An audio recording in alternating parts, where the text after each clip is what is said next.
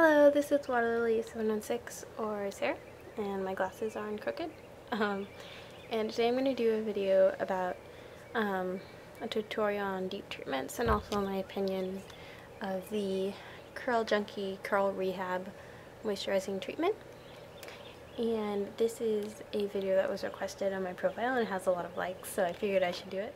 I think her username is Passion Knit Curl, something like that.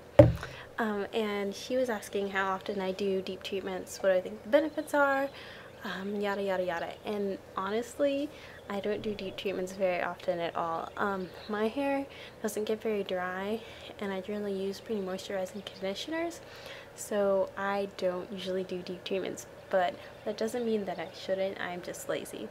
Um, but my hair has been feeling kind of dry and tangly lately, so I figured it was time for a deep treatment. I just sort of do it on a need basis, um, but if you do have dry hair or damaged hair, definitely deep treatments and protein treatments, which are um, good in moderation, um, like a set, like every week or every two weeks, um, that could be good. But yeah, and the benefits of deep treatments is it's just going to put more moisture into your hair. So um, it'll just rejuvenate your hair and even if your hair isn't feeling dry if you just want to be softer and more moisturized. But you do have to be careful if you have fine hair especially or if you have hair that gets over conditioned easily to not over conditioned it's never happened to me um, but if you do deep treatments too often um, your hair just gets too much moisture. So now um, you can also, you don't need to run out and buy a deep treatment. You can also make your own just using some of your conditioner and like some like other natural ingredients and I'll put a couple recipes in the description box. But today I'm using this Curl Junkie one. I won this in a naturally curly contest a long time ago. And it smells really good. It's called Gardenia Coconut.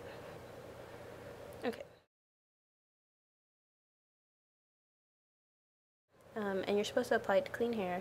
So I already conditioner washed with um, some Alberto VO5 Herbal Escape, which smells pretty good, and my Giovanni usual, um, the Sleek and Slime conditioner, which is my favorite right now. You're just supposed to apply it to wet hair and then distribute it. So just gonna take some of this. Doesn't look very pleasant. And I'm gonna apply it to my hair. Um, I'm going to use a generous amount.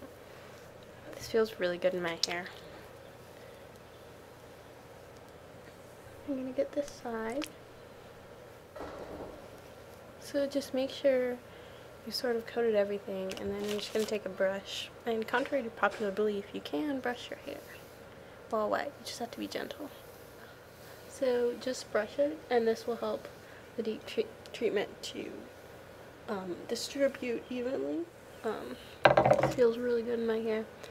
And then what I'm going to do is take a little more and put it on my ends. And then what you want to do is you can put it up in a towel or um, you can plop. But I'm going to use this shower cup that I got from a hotel. And what this will do is none of the conditioner is going to leave your hair because it's not going to seep out into the towel what I'm going to do is use a hair tie. I'm just going to put my hair up in a really messy bun on top of my head. And now I'm going to put on the shower cap. I feel like a lunch lady. But anyways, yeah, that's how you do a deep treatment. Leave on for at least 15 minutes. Um, but you can leave a deep treatment on for anywhere from 15 minutes, which is like sort of the minimum time, to an hour, to like overnight if you just want to go go to sleep the longer you leave it on, generally the more moisture you're going to get in your hair. Um, and another thing you can do is sort of mini deep treatments while you're in the shower. Um, and I did this a lot um, a while ago. I actually want to start doing it again. Is just take some honey and mix about half your conditioner and half honey and put it in your hair. And while you're doing your shower stuff for five or ten minutes or whatever, just leave it in your hair and it's like a little mini deep treatment you can do in your shower.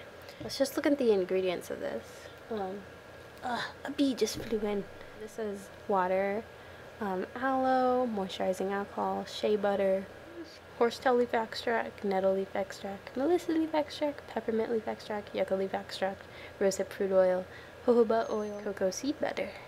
Yeah, so it just has a ton of moisturizing stuff. So that's what you want to look for is like moisturizers and the ingredients of a deep treatment. Yeah.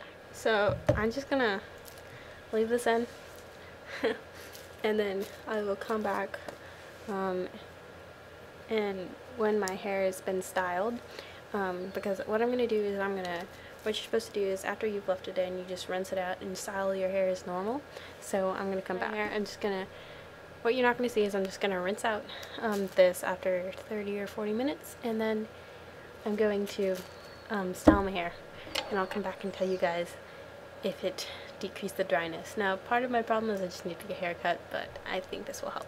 So yeah, bye! Guys, so this is how my hair dried and um, I definitely noticed the effects of the deep treatment.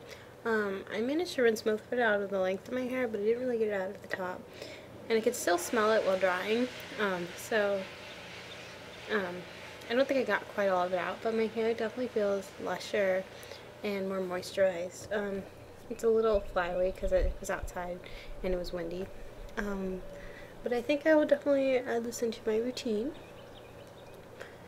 Um, doing a deep treatment every month or so and I would repurchase this product.